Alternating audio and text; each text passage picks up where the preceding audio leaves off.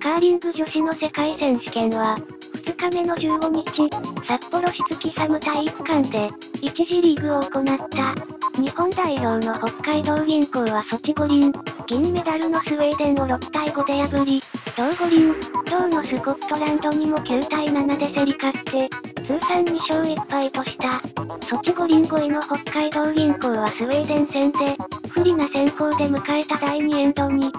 点を獲得。第5エンドに2点を加えるなど、終始リードした。